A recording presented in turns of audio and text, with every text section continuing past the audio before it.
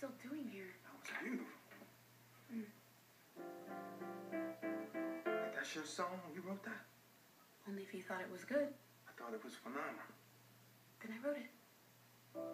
So, did you write that song your sister sang at the Discovery a few weeks back? Yes, but she kind of made it her own. Wait a minute. You wrote that song. You wrote the song you were singing? You wrote the songs in here too? Too? Yes. What you gonna do with the music? Nothing. Why not?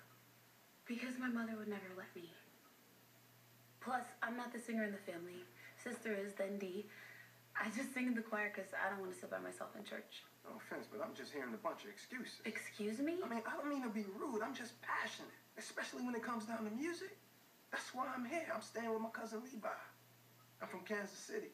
You know, we got a cool jazz scene down there. I managed a few acts, but the money's here in Motown.